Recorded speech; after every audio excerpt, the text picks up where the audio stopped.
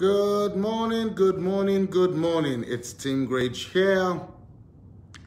It's Friday um, in the city of Johannesburg. Anybody out there who is with me on this Lord's Day? Anybody? Anybody here? Who am I seeing? Patronella, it's good to have you. Thank you for being with me. Who else? Mrs. Grage, welcome, welcome. I see the family is coming in. Yes, good morning, Cloudy. Good morning, good morning, good morning. Wonderful, wonderful. Yvonne, welcome. Jade, Jade Jacobs, what's up? Majona, how are you? Who else? Thabiso.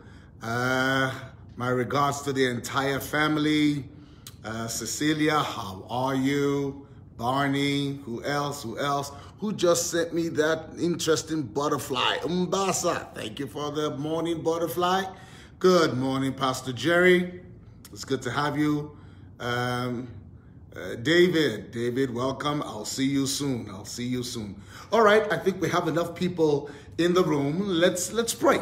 Let's pray. Everlasting Father, we thank you as again uh, we surgeon in your word. I ask that you will educate, inspire. You will speak a word that will stir us, speak a word that will heal us, speak a word that will transform us, speak a word that will help us, speak a word that will cause us to know you better, because that's that's that's the core of what changes a life and a destiny. Thank you, Father. In Jesus' name, amen. Again, like I've been doing every day this week, if you are unaware, we've started a project where Every day we read a chapter in the book of John, uh, chapter 1, um, and we're going all the way to chapter 21. Um, and then I come up and I do my own review of that particular chapter, okay? Uh, but the idea is you are also supposed to do yours. So you do your review, I do mine, and then we just engage together. Good morning, Refillway, and we just engage together, okay? So this is these are my thoughts um, on, let's see if I can open this nicely. These are my thoughts on John chapter 5, okay? These are my thoughts uh, on John chapter 5, based on my study, based on my readings, based on my investigations. These are the things that I came across. So we are on John chapter 5. I'm not going to read the whole thing for the sake of time, but a few things immediately jump at me, of course, as you can imagine. So uh, let's see. The healing at the pool of, of, of Bethesda. So Jesus shows up at the feast. Now we're not sure which of the feasts that it was, um, um, because it was it warranted being mentioned. There's a very strong possibility it was one of the three major feasts that the Jews would have. So Jesus shows up at the feast and then he sees a man. And, and well, actually, he goes to the pool of Bethesda and there are several people there. There are several people right there. And they are all sitting by the pool and they're all looking to be healed. It's interesting to observe because when we read when we read the story, I was doing an investigation on some of the commentaries uh, concerning this particular verse. And it's interesting to observe that some of these commentaries actually do not, the, the ancient, the much older manuscripts, actually do not have um, uh, verse 3 all the way to verse 4. Verse 3, the latter part of verse 3, where it says, um, waiting for the moving of the water, and then the whole of verse 4. In some of the early manuscripts, that part is not there. Uh, but it was still included here because later the man still says, and that part was included in the older manuscripts, the man still says that he was waiting for a stirring of the water. And so since he was waiting for the stirring of the water, the, the, the compilers decided that, look, then uh, this was probably the event. So the man is there. He's expecting to be healed. Jesus observes that he has been there for 38 years. This man was impressed me at the same time he bothered me because why did he keep on coming? He kept on coming. 38 years he had been impotent. 38 years he had the possibility of being healed there for 38 years. Do you know what 38 years is? I mean, we're talking about 38 years. Um, so, so 365 days time, times 38. Then, and, and for a good portion of that, he had been coming to that particular place to be healed. If this event actually used to happen, then he would have been watching other people get healed while he was not being healed, but he kept on coming. He was a an interesting combination of hope and hopelessness all rolled up into one. Every day he woke up with hope, but even when he got there and and and was expecting to be healed, he at the back of his mind did not expect to be healed at the same time. Because remember when Jesus, look at that, when Jesus asked him, Would thou be made whole in verse 6? The man says, um, I have no man when the water is troubled to put me into the pool. So he knew that he had no man, but every day he kept on coming. And, and I began to postulate some thoughts. So was it religion that made him keep coming? It was religion, maybe. You know, he was just used to where else will he go anyway? What else will he do anyway? Or can he do anyway? So he decides that he would just keep coming, you know, to that pool, even though he had no hope of being healed. Or, or was it that he just had a resilient hope? Because I can't call it faith per se, a resilient hope that he woke up every morning and in spite of how long he had been in that situation, something in him said, maybe today is the day. And then he will get there, see the multitude of people, and then he will come back to reality and say, with this multitude of people here, people that can walk, uh, people that can move faster than me, maybe I, I don't have. But my lesson for that, what, what hit me was, to never lose hope. The fact that it hasn't happened yet does not mean it's not going to happen. And I say that to someone. This was an individual who for 38 years, the situation had been dire. The situation, nothing had changed. He had watched other people celebrate. He had watched other people come and go. He himself had probably rejoiced with people. I wouldn't be surprised if after a while he was no longer even rejoicing with anybody uh, because he couldn't understand why he was there. But the next day he will be back there. His resilience spoke wonders for me. God forbid that any of us will have a long-standing issue that will be there for 38 years. God forbid. I reject that for your life and mine. But his resilience is a lesson for us to learn from. This was a very committed individual. It was a very determined man. His, his commitment must, I would not be surprised if that level of commitment was something that actually pull Jesus in because there were so many other people that were sick there. Why him? You know, that has also question, uh, uh, you know, been a question for me. And I don't know if you have an answer you want to prefer. Why him? Yes, clearly, Jesus chose him because Jesus later explains that it is what he sees his father do that he will do. So he, he saw a movement and a compassion of God towards the guy. But why that particular individual? Why not somebody else that has been there? I will not be surprised. This is my postulation that that his consistent determination, even you know how the Bible speaking about Abraham, who where it says against hope believed in hope. That reminds me of this guy. He was against hope. He knew nobody's there to help me. He was fully aware of that, but he will keep on coming. Against hope, he believed in hope. I declare over your life that your faith will not fail. That was something I prayed for myself and family this morning as I read this. Your faith will not fail you. Your faith will stand, irrespective of the opposition that you have been seeing, irrespective of how the enemy has mounted up a standard against you. I declare that, like this man who kept on being determined, nothing will shift your ground, nothing will push you from your level of faith. And indeed, unlike this man, your case will come to pass sooner than later. Let's push. A few other things hit me. Uh, verse 7, the impotent man answered. Jesus now says, so, so his opportunity shows up. His opportunity was now here. And Jesus says to him, do you want to be made whole? The man's response was quite interesting. He said, the impotent man answered and said, I have no man when the water was troubled um, sent me this this morning as one of her takeaways from this particular verse, and it blessed me mentally. I told her I was going to share it. Zanele said that this verse spoke to her because Jesus did not ask him, Who do you have help to put you in the water? Jesus said, Do you want to be made whole?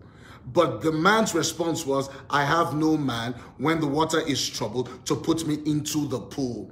And Zanele said this, that it is important to have ears that hear. Oh my goodness, may we all, I feel God all of a sudden, may we all have ears that hear. The question was, will you be made whole? And his response was, there is no way that can happen. You say, I, I don't have help. Yes, one can understand that because he had been in that case for so long he had become, his pain and his circumstances had stopped him from being able to even see the opportunity that was being presented to him. May we, not because, may we, may our pain and the crisis and the chaos and whatever troubles we're going through not stop us from being able to see opportunities when they are presented to us. I declare that we have ears that hear. We will see the opportunity that is presented to us. We will recognize it. We'll be able to take advantage of it in the name of Jesus. It's a good thing that this man's case still ended well. May our case always end well. But ears that hear is a necessity for survival. His opportunity was there and, and, and, and he just couldn't see it. He couldn't even hear what was being said. Now, another thing here for me in this verse was he, he had concluded that the only way God could help him was through the pool. That was the only way. I've said this once, I will say it a thousand times. God has a variety, a myriad of ways to get the answer to you. Yours is to ask. Yours is to seek. Yours is to knock. It the, the how belongs to him. And if he chooses to share the how with you, he will. But the how belongs to him. Yours is to obey what the word says you should do, and which is to ask. He says to everyone that asketh, he receiveth. Are you asking today? I prophesy that scripture. He says to everyone that asketh, receiveth, you receive in the name of Jesus. He says, seek to everyone that seek, you will find. I declare that even as you are seeking, right now we're on a 21 day prayer and fasting, as you are seeking, you will find. He says, To he who knocks on the door. I love the issue of knocking. Matthew 7. He says, Knock on the door. The door is shut, but like this man, you don't walk away. You don't say, Oh, I got here. I thought I came in early. I thought I came in before um, before the deadline, but the door is closed. Let me go, let me go home and come back. No, he says, when you meet a closed door, you go there and you knock. I say, and to anyone that knocks, the door will be open unto you. And I declare that that is your story. Look at that again. The man, the man could not see how God was going to do it, and God still came through for him. You will not see rain but your ground will be full of water. I prophesy that over you. This, this is what the Lord said to me this morning. He said, Tell my children, based on this verse, that they will not see rain. And do you know why he says rain? Because the man was expecting somebody to help him. You might not know anybody in that company. You don't have any access. The person that you know has left, or the person that you know is not willing to help you. Nobody's available to help you. You don't know any man, but you know the man. And because you know the man, because you know the man, a door is open unto you. They will give you that opportunity. They will hear you out. And when they hear you, they will listen to you and they will respond to you positively. In the name of Jesus, I declare, I see company doors opening. I declare that it is open unto you in the name of Jesus. You know no man, but yet, like it was with this man, do you know who this man, this statement of this man reminded me of? It reminded me of Mary, the mother of Jesus herself. I know not a man. You will have a child. She says, I know not a man. How can this thing be? And the Bible says, the, the, the angel says to her, the Spirit of the Lord will overshadow you and you shall conceive. You shall be with child. You know nobody, but the one that you know, the one that you know, will respond to you. And that is Jesus himself. He's right here, right now. Jesus then says to him, Rise, take up thy bed and walk. The miracle worker is still in the house. I speak to anyone that is sick. I declare, anyone that is watching that is experiencing the symptoms of COVID-19. Yesterday, I received news again that two of our people that, that have been experiencing the, no, that have been confirmed um, positive of COVID 19 had now been completely free of the symptoms. They are now free of the virus. I speak to everyone and anyone that is sick right now under the sound of my voice, whether you're watching me live, whether you will eventually watch me. I prophesy over your life as Jesus said to this man, I say to you, rise, take thy bed and walk in the name of Jesus. I say, rise, take your bed and walk. I speak it over you. I speak it over your family. I speak it over your children. Take your bed and walk, be healed in the name of Jesus. We have seen people, so many different people, healed while just watching this broadcast. So I say to you, we have had people who have watched this broadcast and they didn't watch it live and yet they got healed. So I say to you, whenever you are watching it, you receive your healing right now in the name of Jesus. God has shown us mercy. We have had people, even in our church, who were so sick of the virus and we, we, we were scrambling to try and look or where to get oxygen tanks for them to use to breathe, oximeters and oxygen tanks. I remember one of them said to us, that Jesus appeared to her. Oh, Jesus is still alive and he is still healing and he is still moving. She, we're trying to rent oxygen tanks. We called one of our nurses in the house. She was going bending over backwards so that we could rent oxygen tanks for her to use, she and her husband, because they were running out of air. But God, but God, Jesus, she said, Jesus appeared to her and said to her, You will be okay. No, you will be fine. And she said all she could say to him because she couldn't even talk was okay. Then she called me on the phone. She could now talk. Her breathing was getting better. Now they are doing so much better. I declare, rise, take thy bed and walk in the name of Jesus. I love verse 9. It says, and immediately come. If you're watching this with me, come on, do something with me right now. I want you to say, and immediately. Come on, just write immediately, right? Just write it immediately. Agree with me and say immediately. The Bible says, and immediately the man was made whole. Somebody say immediately. Come on, come on. I'm waiting. I'm waiting to see you say immediately. I'm waiting to see you say somebody type immediately and I will go on.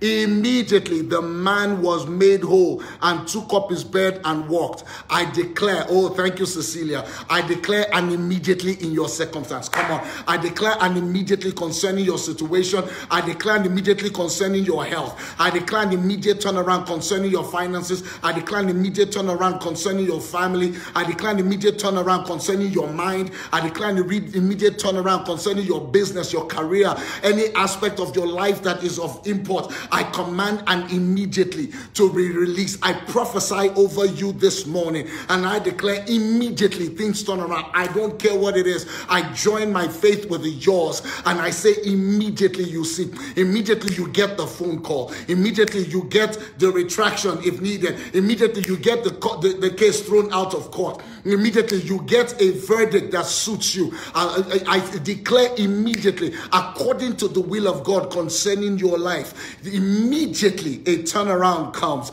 And immediately, remember, we saw the first miracle that Jesus did, and that one was a gradual miracle. The Bible says the man said to, to, to, to Jesus, or the man said to his servants, When did my son begin to amend? But Jesus was not moved by that. Jesus did not think, Why is this thing not happening immediately? Maybe there's something wrong with my anointing. No, Jesus just kept on going. And guess what? Now we see immediate manifestation of glory. So the man is healed, all right? The man is healed. It's oh, time goes when you're having fun. The man is healed, and and the he, he picks up his bed and he begins to walk. Look at what happens. This is a man that has been sick for 38 years. He picks up his bed and he begins to walk. And the Pharisees see him, and the first thing they say to him the Jews, verse 10, the Jews said unto him that was cured. Remember, this is the man that was cured. 38 years, they knew him. He was not an unknown face. So don't think maybe these people, um, unless they resumed work that day, which is unlikely. So they knew him. 38 years. Everybody there after 38 years, they knew him. They probably knew him by name, or at least they knew they could describe him. All right? But this is what they said. The Jews said unto him that was cured, It is the Sabbath day. It is not lawful for you to carry your bed. This man has just been healed, and all they could see, they didn't even ask him, What on earth, what happened to you? All they could see is that this man, can you imagine that, was carrying his bed. My goodness, it gets worse. The man now says to them, in case they didn't know, the man now says to me, answer them, He that made me whole, the same said unto me, Take your bed and walk. So he explains to them, in case maybe they didn't know he was sick. He says, I was sick, I was sick, and yet uh, the, the man that made me whole says, Take up your bed and walk. And this was their response in verse 12. Then asked they him, What man is that which said, Take up your. They ignored again the fact that he had been healed, he ignored that he had been made whole, and all they could see, Take up your bed and walk. Let me say this you need to avoid people in your life who all they see are the mistakes that you make. That is a big issue. You need, it's only, look, they when, when, when you are celebrating, they hardly show up. The only time they show up is when there is something to complain. Do you know some of those people on Facebook, on your social media platform? You never hear from them. They never comment. They never like. They never do anything. And then one day when they don't agree with something that you've posted, that's when they come out of the woodworks. I have no tolerance for such. I immediately block those people. I delete their friend. I block them. Why? I've not seen you for so long. You've not commented. You've not said anything nice. And the first thing I'm, uh, uh, our interaction, we're interacting, and you're saying to me is all the negatives. You need to avoid people who only see the negative in your life. If that person is your spouse, don't avoid your spouse. But maybe it is time to go for counseling because it is. Can you imagine all they could see? This man's life, after 38 years, had just been transformed, and all they could see is uh-uh, but why, why, why, why, why, why are you doing this thing? Why, why, why are you doing that? Oh no, such people, may your life be free from such people. Let me mention this. Do you know, remember in Genesis, when God says to Adam um, and Eve, that because they had, of what they had done, the word says that the earth will bring thorns and thistles thorns and thistles. Later, Paul talks about a thorn in his side. Let me help you here. When he talks about thorns and thistles, when you do what we call biblical exegesis, thorns and thistles actually means people. So basically, he was saying that you will labor, but you will have people whose ideas, ideologies, dispositions will fight against you. Do you know that's what that scripture was implying? This is why I tell people when, when someone, a, a, business executive, flew into the country and spent a few moments with me, he said, because we, he didn't plan our interaction when he sat in my office, he said, Tell me one thing that I need that could change every aspect of my life. One thing that I need, apart from, from Jesus, one thing that I need that can help me in my marriage, help me in my finances, help me. I said, what you are asking is a difficult one, but there is an answer. The answer is the right relationships. The right relationships can inspire your prayer life. The right relationship can rob you of one. The right relationship can can spur, spur you on in your business. The right the wrong relationship can destroy it. The right relationship can can bring you healing. The right the wrong relationship can bring you death.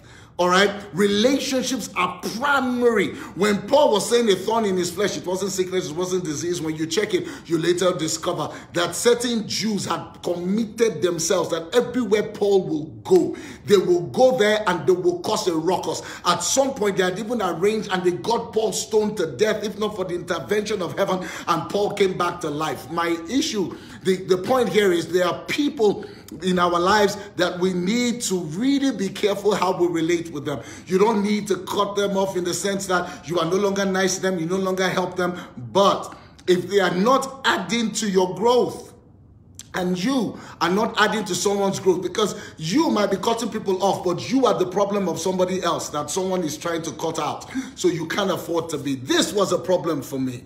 Now I'm out of time. So let me just quickly run to other things that spoke to me. I don't know what spoke to you. Maybe you can share, but let me run to other things that spoke to me. He says, afterwards, Jesus found him. And Jesus, you know, spoke to him, encouraged him, and the man went and reported Jesus to the Jews. Can you imagine? Somebody else that Jesus healed in the temple, right? When Jesus healed another guy in the temple, um, uh, this was a man that was born blind. When Jesus healed him and Jesus came and met him just like this guy, the, the, the man said, who is the person that did this? Tell me so I will follow him. And the man began to follow Jesus. This one, on the other hand, when he bumps into Jesus, his response was, Oh, so you are the one. And he goes and he tells the Pharisees. That's that grieved me. Do you know why it grieved me? It just gave me the impression of battered wife syndrome. Battered wife syndrome. You, you, know, you know how it is. This is killing you. but that death has become so familiar, so familiar that you can't walk away from it. That situation has no more benefit. It is robbing you. That habit is killing you, but you say you want to walk away, but you keep going back there. You keep going back there. Ah, if you have found yourself in that situation where you have loved your chains, instead of breaking free from your chains, you have painted your chains the color of gold and you have called them an ornament and and and and and, and chains of, of, of decoration and, and an ornament to beautify yourself, may you be set free. May those chains be broken off from your life. This man went back to the same people that were totally uninterested in whether he was healed or not. You will not go back.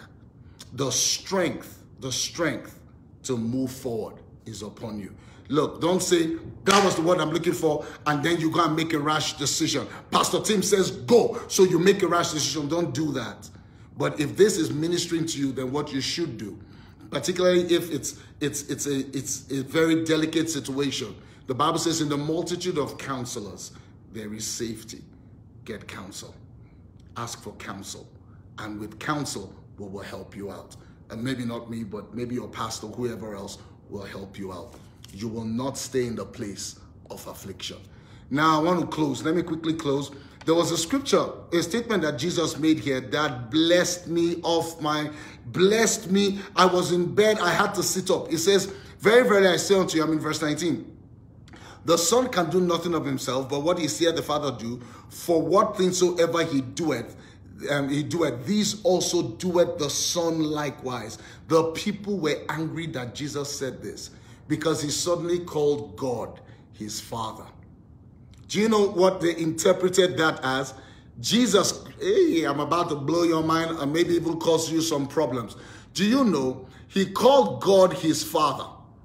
Let me see if I can if I can get this to stop misbehaving.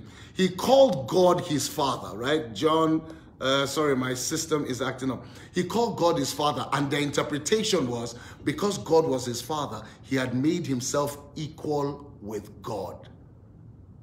You know, and they wanted to stone him. And Jesus did not argue with them because what he was basically saying was if God is your father, if God is his father, then he's made of the same substance of God as God. Now, in our case, we understand that he was God manifest in the flesh. Please understand, Jesus did not come to represent God. Jesus was not a representation of God. Jesus was the manifestation of God. Jesus is God made man, is God that became man so that men can become children of God. So Jesus was not God's representation. So so so Jesus when they said calling God your father makes you equal with God. Have you noticed that God is also your father? And Jesus was the one that said it. You know, after his resurrection, they wanted to touch him. Jesus said, No, uh, told the women, Don't touch me because I have not yet gone to my father, your father. The same Greek word. So it's not like the father he meant for himself was different from the father he meant for you. He says, I have not yet gone to my father and your father. So if God is your father, if God is your father, guess what? He has made you equal with him. See, you, you, you you are not God Almighty, but it means His nature is your nature. His life is your life. His ability is now your ability. He has given you he has given you access to all that he is. Say it with me. God is my father. God is my father. Come on, say it with me. God is my father. God is my Father. So you know that his ability, uh, his character and his ability is in you. I call it characterability. There's no word like that, but I call it characterability. His character and his ability is in you. You can't be stranded. Today, like Jesus, speak. I declare that your heart will be sensitive. You know, Jesus' heart was sensitive. He could see what the Father was doing and he could respond. He could he could discern that in this situation God is there. God isn't here. God is moving there, and he will go there and be the representation of God there, or or or or, or display God there and get the results. Get the results. God is your Father. You will discern where God is you will align with where God is and you will manifest God, for God is your Father. I'm out of time. There's so much more that I could say, right? I want to encourage you. If you can, this Sunday, I am going to be explaining quite a bit concerning who God actually is. And I'm hoping that you will join me. Our service, um, Noxie has already put the put the link there. Our service is at 9 a.m. It will bless your socks off. Um, I will be dealing with some of the important questions. How do you trust a God? How do you say God is faithful when at the same time you have scriptures like, I kill and I make alive?